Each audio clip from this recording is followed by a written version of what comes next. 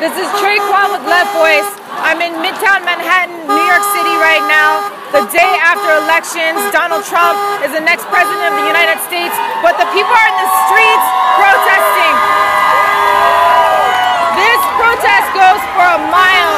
We're estimating something like 20,000 people out here. Disorderly conduct. This is the New York City Police Department. You are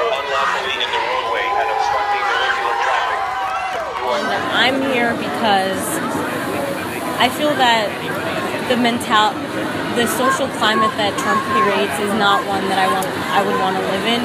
He promotes hate, sexism, and just overall bigotry, and I don't think that's the man. That's the kind of man that should be running the country.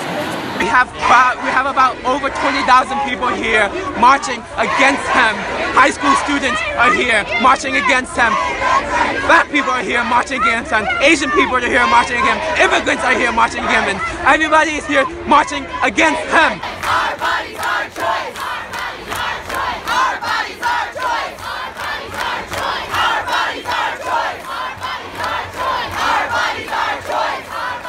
Where it's clear that the Democratic Party has laid the road for Donald Trump's rise to power. The solution is not in neither the Democratic Party nor the Republican Party, which is split.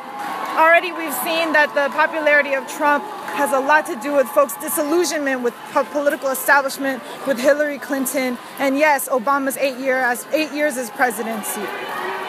So today we see that the only solution is in our hands.